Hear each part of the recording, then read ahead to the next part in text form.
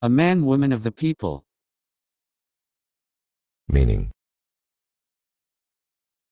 A person who represents, understands, is in touch with, and is well liked by ordinary, everyday people. Often said of politicians or those who occupy positions of power, authority, or fame beyond that of the average person. Example 1.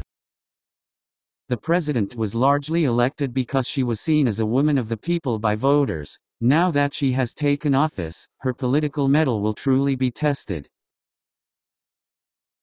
Example 2.